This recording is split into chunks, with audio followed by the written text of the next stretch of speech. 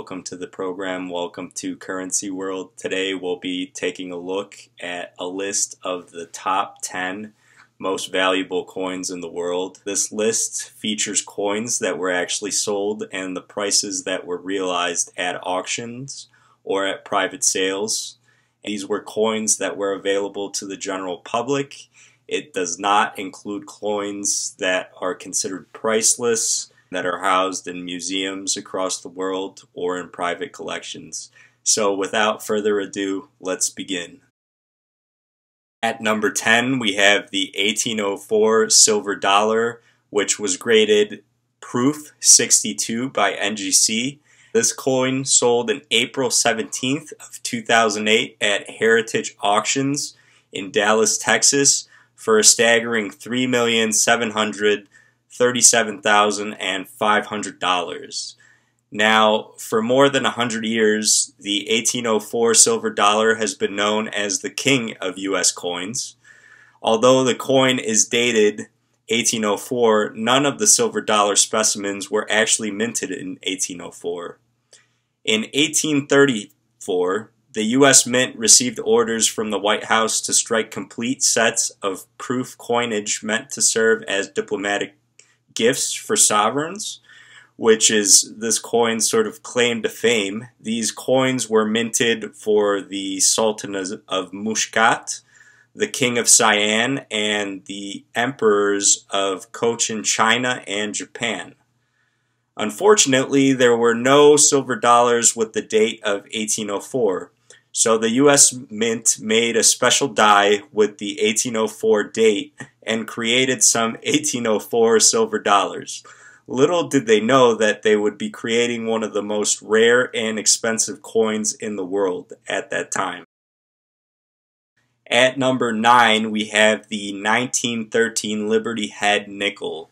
This coin could either be categorized as number 9 or number 10, since it is tied in value with our previous entry selling for $3,737,500 in January 7th of 2010 at Heritage Auctions, also in Dallas, Texas. Now, this coin's claim to fame was that it was featured in the 1970s television series Hawaii Five-O. This exact coin was used for a close-up shot for the television show, while a common Liberty Head nickel was used for the action shots where the date could not be discerned and the risk of damaging it was too great. So, in other words, they wanted to make sure they didn't damage this coin, but they did use close ups of it. Apparently, this did not really help increase its value by much, since this coin originally sold for the $3,737,500, later sold in 2004 at another auction for $3,290,000. So that was quite a loss, and it goes to show that in the world of coins, like other collectibles or even stocks, bonds, and other investments, it, they can be very volatile. At number 8, we have the 1804 bust dollar Class 1 Dexter and Pogue specimen and this coin realized a total price of, at auction of $3,865,750. Wow. This coin sold relatively recently on March 31st of 2017 at the Stack's, Bowers Galleries, and Sotheby's. What's special about this particular coin is that it has a small d punched in a cloud on the reverse of the coin, indicating that it belonged to James V. Dexter, a wealthy numismatist who owned it for 14 years at the end of the 19th century. Now, this numismatist's collection is expected to fetch more than $100 million in total. At number 7 on the list, yet again, another 1804 bust dollar. Class 1 Mickley and Hawn specimen. This coin, similar to some of our previous entries, fetched a staggering $3,877,500 and it sold on August 9th of 2013 at Heritage Auctions in Dallas, Texas. Now, there are only 15 known authentic specimens that were struck at three different times of this particular coin, two of which we have already seen. By closely examining these coins, professional numismatists classified each of the 15 coins into one of three classifications.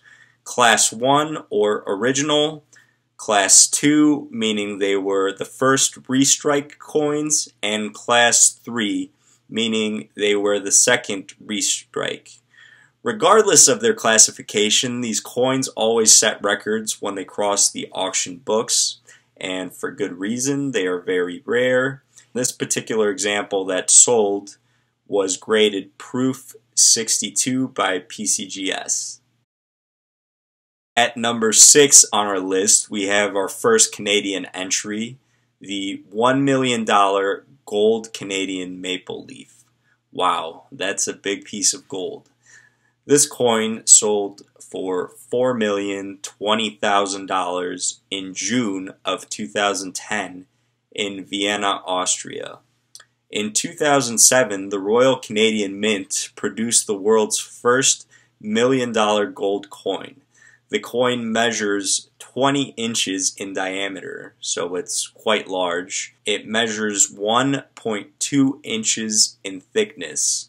So this is a very substantial coin and it contains over 100 kilograms, which is almost 220 pounds of 99.999% pure gold.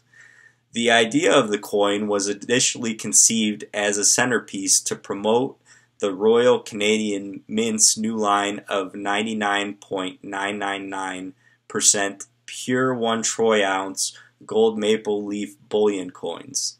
To date, five of these gold bullion coins have been purchased by investors from around the world. The last coin to sell at public auction sold for 3.27 million euros at an auction in Vienna. This coin is truly any gold investor's dream. At number five, our friend, the 1804 silver dollar, is back again. This time, it is a Class 1 Watters Child specimen. Now, this coin realized $4,140,000 at auction when it was sold on August 30th of 1999 at the Bowers and Merena auction. As we mentioned before, this specimen is known as the King of U.S. coins, and it is the finest example of the 1804 silver dollar. And this particular example, what makes it special is that it is graded proof 68, which is pretty damn near perfect. Perfect being proof 70. This was graded by PCGS, which is a very reputable grading company. When this coin sold in August of 1999, it became the world's most valuable coin. It easily beat out the previous record holder, another 1804 silver dollar, by over two times the amount. This coin was originally owned by the Sultan of Muscat in 1835 and then by the Childs family for more than 50 years. And then once again, it was put on the auction block by D. Brent Pogue. A bid of $10,575,000, the most ever offered for a coin, was placed by phone for this 1804 draped bust silver dollar, but it failed to reach the cosigner's reserve price. Sotheby Auctions House have released the statement and eventually the coin sold for the price that I previously mentioned, the $4 million mark. As always, if you enjoyed the video, please give it a big thumbs up and subscribe. It really does help me out.